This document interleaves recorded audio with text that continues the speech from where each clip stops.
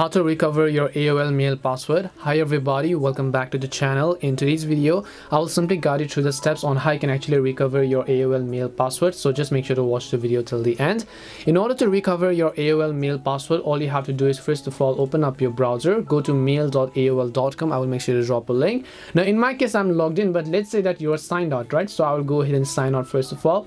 Let's say that I'm signed out and then I want to sign into my account, but I don't remember my password. For that, you have to recover your password so to do this all you have to do is first of all just go to aol.com over here then just click on this sign in button. So just click on the mail option and it will take you to the login page basically.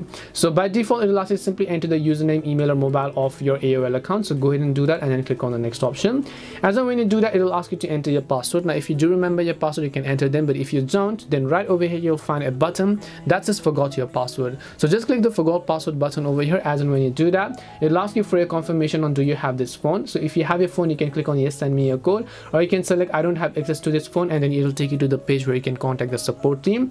But for now you can just click on yes send me a code button over here. So it will send a code to your mobile number. Simply wait until you receive the verification code. Now in my case i received it. So i'm going to go ahead and then actually enter the verification code here. Once i enter the verification code in this case all i need to do is just click the verify button. And once i've done that it will directly take me to the page where i can simply enter the new password that i want to use. Once i enter the new password that i want to use i'll just click on the continue button and my password will be successfully recovered this is simply how you can go ahead and then recover your AOL mail password. We hope the video was helpful and if it did help you then make sure to leave a like and subscribe to the channel. If you have got any more questions, queries, or doubts, feel free to also leave them down. Thank you very much for watching and see you in the next video.